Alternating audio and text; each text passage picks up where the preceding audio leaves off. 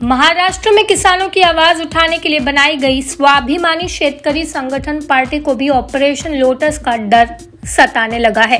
संगठन के प्रमुख राजू शेट्टी के खिलाफ उनके ही करीबी रविकांत तुपकर ने मोर्चा खोल दिया। तुपकर ने पार्टी पर दावा ठोकते हुए कार्यकर्ताओं के साथ शक्ति प्रदर्शन की बात कही।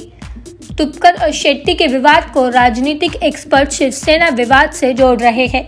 शिवसेना के एकनाथ शिंदे की तरह ही तुपकर का फ़ोन भी अनरीचेबल मोड में है। इधर राजू शेट्टी के खिलाफ तुपकर के शक्ति प्रदर्शन की तारीखों को लेकर अटकलें तेज हो गई है। स्वाभिमानी शेतकरी संगठन में अगर टूट होती है तो महाराष्ट्र की सियासत में एक रिकॉर्ड बन जाएगा। पिछले तेरह महीने में यह तीसरा मौका होगा जब विपक्षी पार्टियों में आंतरिक टूट होगी। इससे पहले शिवसेना और राष्ट्रवादी कांग्रेस पार्टी में टूट हो चुकी है। महाराष्ट्र में किसानों की आवाज़ उठाने के लिए बनाई गई स्वाभिमानी शेतकरी संगठन पार्टी को भी ऑपरेशन लोटस का डर सताने लगा है।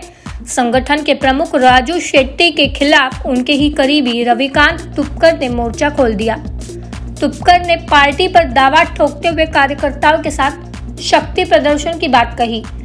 तुपकर और शेट्टी के विवाद को राजनीतिक एक्सपर्ट शिवसेना विवाद से जोड़ रहे हैं। शिवसेना के एकनाथ शिंदे की तरह ही तुपकर का फ़ोन भी अनरीचेबल मोड में है।